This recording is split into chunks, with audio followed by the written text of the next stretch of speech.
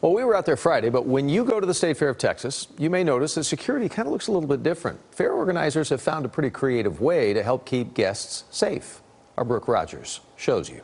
Can I help you? Stationed in booths throughout the state fair, you'll see members of the state fair safety team.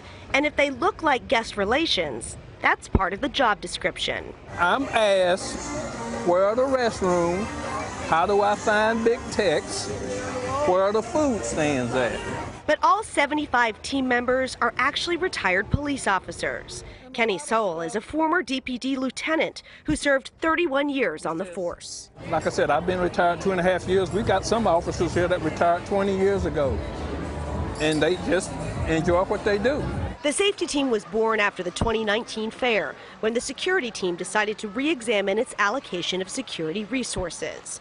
Sworn police officers used to man the booths. A, police officer uh, affixed to a stand really only has an operational area of right around that stand. And we thought that there would be a better way to utilize that resource in a more policing role, and then we could replace them with another asset.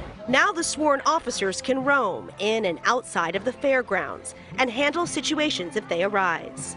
We want to be good stewards with the public's resources, right?